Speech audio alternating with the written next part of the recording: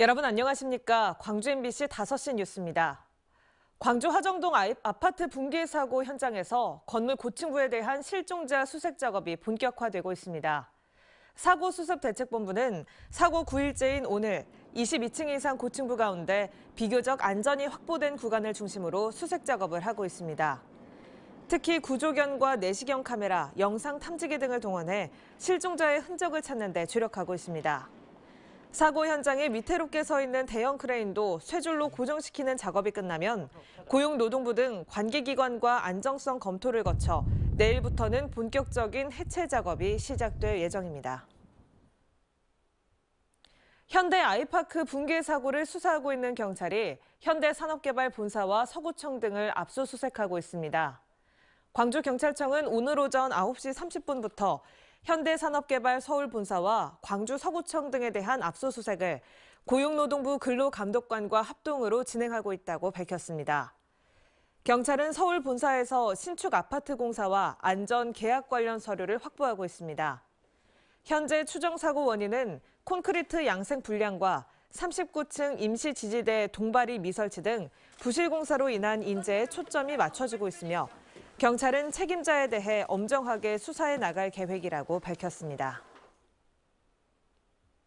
광주 전남에서 오미크론 변이 바이러스가 우세종이 되면서 하루 확진자가 8일 연속으로 300명대를 넘어섰습니다. 방역당국에 따르면 어제 광주는 227명, 전남은 154명 등 모두 381명이 코로나 확진 판정을 받았습니다. 지난 11일 322명으로 처음으로 300명대를 돌파한 데 이어 8일 연속으로 300명 이상 확진이 이어지고 있습니다. 특히 오미크론 검출률이 7, 80%를 넘어 이미 우세종으로 자리 잡은 상황에서 백신 접종률이 떨어지는 10대 미만과 요양병원과 시설 등 고령층이 주로 생활하는 곳에서 확진이 이어지고 있습니다. 여수시가 오는 21일부터 시작되는 여순 사건 피해 신고 접수와 사실 조사를 앞두고 전문 인력과 사무실 배치는 물론 유족회와의 협력 방안 모색에 적극 나서고 있습니다. 여수시는 여순 사건 특별법 제정에 따른 후속 조치로 앞으로 3년 동안 피해 신고와 진상 조사가 진행됨에 따라 여순 사건 여수 유족회가 있는 망마 경기장에 피해 신고 접수처와 사실 조사반 사무실을 마련하고 오늘 현팍식과 함께 유족회 관계자들과 간담회를 가졌습니다. 여순 사건 피해자와 유족으로 인정받기 위해서는 오는 21일부터 내년 1월 20일까지 1년 동안 시군에 마련된 피해 신고 접수처와 읍면동 민원실에 신고서를 제출해야 합니다.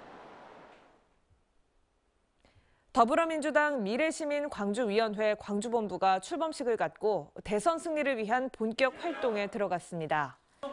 이해찬 상임 고문과 이영석 광주 본부장 등이 참석한 가운데 열린 출범식에서 참석자들은 대선이 채 50일도 남지 않은 상황에서 호남의 선택과 결집이 중요해졌다며 모든 역량을 발휘해 제4기 민주정부를 창출하자는 의지를 다졌습니다. 기아 타이거즈와 150억 원 초대형 FA 계약을 한 나성범 선수가 입단식을 가졌습니다.